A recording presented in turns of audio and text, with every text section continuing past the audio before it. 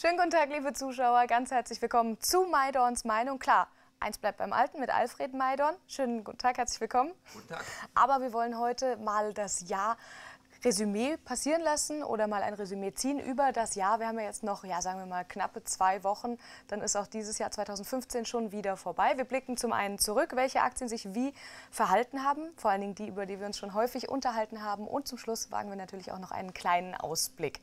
Was jetzt anders ist, wir schauen uns die Aktien mal dementsprechend an, wer besonders gut und dagegen auch, ja, eher miserabel performt hat. Und wenn wir uns jetzt mal gerade aus dem DAX die zwei Werte E.ON und Infineon anschauen, da sieht man schon ganz deutlich. Also, dass E.ON ja, eher der Rappelkandidat war, sollte unseren Zuschauern ja bekannt sein. Bei Infineon weiß ich, da haben Sie immer drauf geschworen, immer empfohlen und da gab es jetzt zum Schluss ja auch noch mal einen heftigen Schub nach oben. Ja, das, äh, das sind so ziemlich die, der beste DAX-Wert äh, Infineon dieses Jahr und äh, E.ON ist einer der schlechtesten, nur schlechter ist noch ähm, RWE, also die beiden Versorger bilden das Schlusslicht. Das war keine so große Überraschung. Äh, zu Jahresanfang hätte man eigentlich schon abschätzen können, dass E.ON und RWE die Probleme doch größer sind als von vielen erwartet.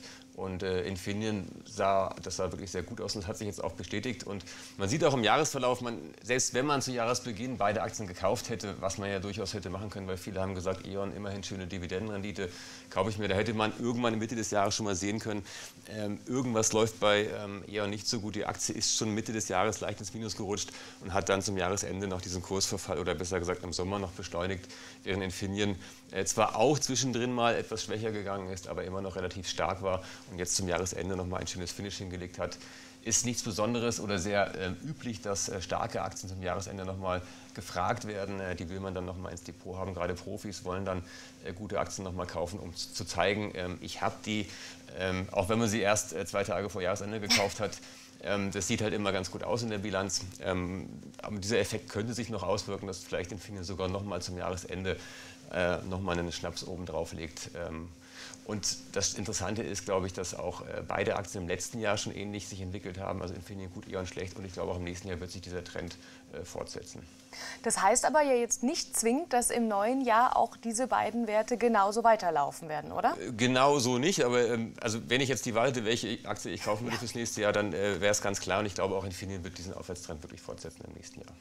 Wir schauen ja zum Ende der Sendung uns auch noch mal einen kleinen Ausblick an in das nächste Jahr. Jetzt gucken wir aber uns erst noch mal Nordex und Eichstron an. Nordex hat permanent geliefert in diesem Jahr, egal ob es die Aufträge waren oder ob es die Quartalszahlen mal. Da gab es wirklich überhaupt gar nichts zu meckern. Bei Eichstron, da sehen wir gerade heute einen heftigen, heftigen Absturz. Hier gab es schlechte Nachrichten aus China. Was hat denn da so verhagelt? Ja, das ist tatsächlich so. Also Nordex hat wirklich, wie Sie schon richtig sagen, immer geliefert. Und äh, bei Eichstron gab es immer nur die Hoffnung ähm, und vor allen Dingen die Hoffnung auf äh, einen Großauftrag aus China. Und der ist heute geplatzt. Äh, besser gesagt, also zumindest der große Teil. Drei von 50 Maschinen wurden bereits geliefert. Die anderen 47, äh, die gibt es jetzt nicht mehr. Und äh, darauf hatten die Anleger gehofft ähm, und auch viele Analysten gehofft. Und jetzt gab es natürlich serienweise Abstufung. Und die Aktie ähm, fällt äh, um 40 Prozent. Vollkommen zu Recht, muss man wirklich sagen. Ähm, denn viel mehr als diesen Auftrag Auftrag hat Eichstron nicht. Man hat zwar noch ein normales Geschäft, aber man wollte auch mit diesem Auftrag nächstes Jahr in die schwarzen Zahlen wiederkommen. Äh, das wird jetzt nicht klappen. Also das sieht wirklich äh, sehr unangenehm aus. Und auch Eichstron ist ja nicht erst seit gestern äh, mit Problemen behaftet, sondern schon in den letzten drei Jahren, kann man sagen. Ähm, und Nordex läuft seit drei Jahren. Also dieser Trend hat sich in diesem Jahr einfach nur fortgesetzt. Und auch hier, glaube ich, im nächsten Jahr gibt es eine Fortsetzung, sowohl Nordex nach oben als Eichstron nach unten. Das heißt, bei Eichstron könnte jetzt mit diesem Platzen des Vertrages oder mit, äh, ja, tatsächlich mit dem Platzen des Vertrages mit drei Maschinen kann man sich auch nicht im neuen Jahr gut halten, oder? Ja, man hat ja noch ein anderes Geschäft. Man ist ja nicht nur im LED-Bereich, aber das ist nach wie vor der wichtigste für Eichstron. Und ähm, das ist natürlich, ja, wer soll die Aktie jetzt noch kaufen? Ähm, und ähm, wie sagen die Indianer so schön, wenn du merkst, äh, dass du auf einem äh, toten Pferd sitzt, ähm, dann steig ab. Das haben Sie auswendig gelernt vorher, gell? ja, so grob. Ja, wusste ich doch, kennen Sie doch. Jetzt schauen wir uns aber natürlich auch noch mal Solarwerte an. Es wäre ja nicht Maidons Meinung, wenn wir uns nicht auch Solarwerte anschauen würden. Hier braucht man jetzt bei SolarWorld und bei Capital Stage über natürlich auch nicht drüber zu sprechen, wer Verlierer und wer Gewinner ist. Aber woran lag es denn jetzt beispielsweise bei SolarWorld, dass es jetzt gerade im November noch mal gerappelt hat, Ende Oktober, Anfang November? Ja gut, grundsätzlich zeigt dieses Beispiel ganz schön, dass gerade in der Solarbranche es sehr auf die richtige Auswahl der richtigen Aktien ankommt. Ähm, und hier kann man wirklich bös daneben greifen, wie das Beispiel SolarWorld zeigt. Auch SolarWorld nicht erst in diesem Jahr schwach, sondern ähm, wer vor drei Jahren Solarwild gekauft hat, sitzt mittlerweile auf Verlusten von äh, über 95 Prozent, mhm. also fast ein Totalverlust. Ähm, eine Erholung hat sich zeitweise so ein bisschen eingestellt, aber dann kam äh, nochmal die Meldung, dass es eine äh, Klage gibt oder die, eine Klage zu, zu verlieren äh, droht ähm, und hier eventuell mehrstellige Millionenbeträge zahlen muss.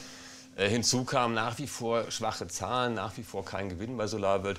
Ganz anders Capital Stage. Ähm, man sieht es auch hier, beide Aktien liefen noch ein bisschen parallel im Frühjahr, aber dann ging es doch stark auseinander. Mittlerweile ähm, über fast 80 Prozent im Plus Capital Stage und SolarWorld 30 Prozent im Minus.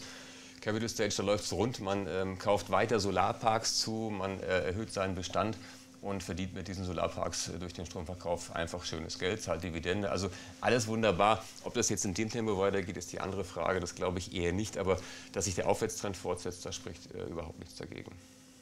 Wir haben jetzt drei Negativ- und drei Positivbeispiele aus dem vergangenen Jahr gesehen. Jetzt wollen wir natürlich für die Zuschauer auch noch mal ein bisschen in die Glaskugel einen Blick werfen und gucken, was denn im Jahr 2016 interessant sein könnte, werden könnte. Sie haben uns SAP mitgebracht und das Softwareunternehmen, muss man ja sagen, hat wirklich seit Oktober hier den Riesenkracher hingelegt. Geht das so weiter? Also 71,80 ist ja jetzt schon mal, kann man sich ja, sehen lassen. SAP ist jetzt ein schönes Beispiel für eine Aktie, die auch, ähm, man kann sagen, fast drei Jahre lang äh, nur seitwärts gelaufen ist. Mhm. Man hat jetzt gerade erst äh, die Höchststände aus dem Jahr 2000 wieder erreicht. Ähm, das aber auch vollkommen zu Recht, denn SAP hat eine lange Phase ge gehabt, wo man umstrukturiert hat vom äh, herkömmlichen Lizenzgeschäft hin zum Cloud-Geschäft. Das ist noch nicht abgeschlossen, aber hier kommt man mittlerweile sehr gut voran und es zeigen sich die ersten Erfolge. Und ich glaube, dass SAP im nächsten Jahr einer der besten Werte im DAX werden könnte. Ist zumindest mein persönlicher Favorit mhm. äh, fürs nächste Jahr. Und ähm, das sieht wirklich gut aus, nachdem das alte Hoch hier rausgenommen worden ist. Wie gesagt, das äh, ehemalige Hoch lag ungefähr hier. Ähm, jetzt muss es noch mal richtig nach oben durch, aber das könnte nächstes Jahr passieren. Und äh, Cloud ist nach wie vor das Thema Nummer eins. Ähm, und hier hatten die Konkurrenten einen Vorteil, den SAP jetzt aufgeholt hat. Und jetzt, glaube ich, kann man richtig durchstarten. Würden Sie das unterstreichen, unterschreiben, wenn ich sage, SAP ist das neue Infineon? Wenn man das von den DAX-Werten? Ja, gut, es sind beides Technologiewerte, das äh, vereint beide natürlich im völlig unterschiedlichen Bereich. Ähm, aber ich glaube, SAP wirklich, Infineon wird auch sicherlich nächstes Jahr gut laufen, aber SAP mhm. könnte doch äh, noch einen Ticken besser sein. Dann schauen wir uns aber noch einen Wert an, von dem Sie in diesem Jahr überzeugt waren und scheinbar auch vom nächsten Jahr wieder sind. Ginkgo Solar hatte seine Tiefstände im Sommer gehabt, August, September, da hat es ein bisschen gescheppert. Wir sind jetzt aber auch so ein bisschen wackelig unterwegs bei Ginkgo. Kommt da jetzt der Ausbruch? Ja, das ist, also wenn man jetzt Capital Stage als Positivbeispiel hat und SolarWild als Negativbeispiel, liegt Ginkgo Solar so mittendrin. Dies Jahr ein kleiner Gewinn unterm Strich, aber sehr hohe Schwankungen unterm Strich, halt nicht viel verdient. Ähm, obwohl das Unternehmen wirklich geliefert hat, sehr gute Zahlen geliefert hat, äh, den äh, Ausbau des, der eigenen Solarparks massiv vorangetrieben hat, also alles bestens. Der Kurs hat noch nicht so mitgespielt, das kann sich und denke ich, wird sich im nächsten Jahr ändern, vielleicht sogar noch in diesem Jahr, ist es ja noch ein bisschen hin. Aber ähm, nach wie vor einer meiner Top-Favoriten aus dem Solarsektor und ich glaube, der Solarbereich äh, wird auch 2016 gut laufen. Die Prognosen ähm, deuten darauf hin, dass die verkaufte Solarmenge an Modulen äh, weiter wachsen wird, wenn auch nicht mehr so stark wie in diesem Jahr. Also die Rahmenbedingungen sind sehr gut und Linke Solar ist wirklich perfekt positioniert. Dann bin ich gespannt, was Sie zu dem nächsten Wert sagen, weil Solar Edge hat ja auch ein bisschen nachgelassen und es sieht so aus, als hätte man hier den Anschluss verloren. Sie sagten gerade eben, man, Sie hatten das in ganz hoch, ganz unten und eben Jinko in der Mitte. Wo ist denn Solar Edge? Ja, die Firma ist ja relativ neu an der Börse, ja. erst im März äh, 2015 an die Börse gekommen, äh, danach erstmal recht stark gestiegen, wie man auch im Kursverlauf ja. schon erkennen kann. Und das war natürlich oder vielleicht im Nachhinein etwas zu schnell und zu stark. Dann gab es eine lange Phase, ähm, wo man ähm, ja, wo der Kurs gefallen ist, was auch daran lag, dass dann äh, viele Erstaktionäre erstmal Kasse machen, nachdem die gewisse Haltenfristen erreicht worden sind. Ähm, dann hatte man so ein bisschen Sorge, dass äh, der US-Markt nicht so gut läuft. Solar Edge ist ja gerade in den USA sehr stark unterwegs bei Wechselrichtern. Aber 2016 könnte tatsächlich äh, neuer Schwung in die Aktie kommen, weil man nämlich mit einem neuen Produkt auf den Markt kommt, mit den HD-Wechselrichtern, einer neuen Technologie. Kleiner, leichter, schneller, besser, leistungsstärker. Und äh, wenn das funktioniert ähm, und es spricht eigentlich nichts dagegen, dann kann auch hier die Trendwende kommen und dann kann die Aktie auch wieder zumindest in Richtung der alten Höchststände kommen und das wäre immerhin ähm, ja, eine Verdopplung. Würden Sie jetzt den Anlegern raten, jetzt zuzuschlagen oder würden Sie noch erstmal ein bisschen abwarten? Ja, ich glaube, jetzt kann man das schon so langsam mal wagen. Man sieht hier zumindest so den Ansatz einer Bodenbildung. Ähm, das ist noch nicht ganz die Kuh vom Eis, ähm, aber die letzten Zahlen waren auch sehr gut, die SolarEdge vorgelegt hat. Also das ist so eine Solaraktie, die sicherlich ein bisschen spekulativ ist, aber das sind sie letztendlich alle. Ähm, das Potenzial ist da und ich glaube, das Risiko hält sich in Grenzen, wenn man hier seine Position beim Stop absichert. Man hat das Risiko ungefähr so groß und das Potenzial so, das ist eigentlich ein ganz gutes Verhältnis. Das stimmt, das sieht auf jeden Fall vielversprechend aus. Das kennt man ganz gut. Den nächsten Wert, auch darüber haben wir uns in dem Jahr oder im Jahr 2015 häufig unterhalten, nämlich Tesla. Man hatte den Hochpunkt schon gehabt im Sommer, 262 Euro. Etwas darüber war der Hochpunkt gewesen. Jetzt möchte Tesla auch noch mitmischen bei dem Thema vernetztes Zuhause, aber das wird eher Nebenschauplatz sein, oder? Ja, zumindest im nächsten Jahr wird es sicherlich äh, dieser Batteriespeicher, die Powerwall, nicht so das große Thema, wenngleich auch hier die äh, ersten Verkäufe dann äh, kommen werden und auch hier äh, das zumindest einen Teil zum Umsatz beitragen wird. Aber das Entscheidende wird natürlich der Bereich Elektroautos sein. Ich glaube, dass im nächsten Jahr grundsätzlich das Elektroauto sein, das große Jahr haben wird, äh, mhm. nachdem wir in diesem Jahr schon so erste Ansätze waren, dass der Markt in Schwung kommt. Äh, die Zahl der verkauften Autos gerade in China wird dieses Jahr deutlich zulegen. Deutschland hinkt nach wie vor hinterher, aber im nächsten Jahr könnte das so ein bisschen den Durchbruch geben. Und auch für Tesla insbesondere, weil man ja äh, im ersten Quartal wahrscheinlich schon äh, sein Massenmodell, den Tesla 3 vorstellen wird, der dann 2017 auf den Markt kommen soll mit ungefähr 35.000 Dollar, also zu einem normalen Preis. Mhm. Und das kann doch einiges bewirken bei der Aktie, die zwar sicherlich nicht billig ist, da gehen die Meinungen natürlich weit auseinander. Eine sagen, die ist völlig überteuert, ich sage, sie ist hoch bewertet, aber hat noch viel Potenzial. Also da könnte nächstes Jahr einiges passieren. Ähm, dann gibt es natürlich die Verkäufe ähm, fürs vierte Quartal Anfang des Jahres. Also wer an Elektroautos glaubt, kommt an Tesla einfach nicht vorbei. Herr Maidon, ganz, ganz schnell, weil die Regie mir schon fast ins Ohr reinspringt. Build Your Dreams, BYD, welche Träume werden hier gebildet?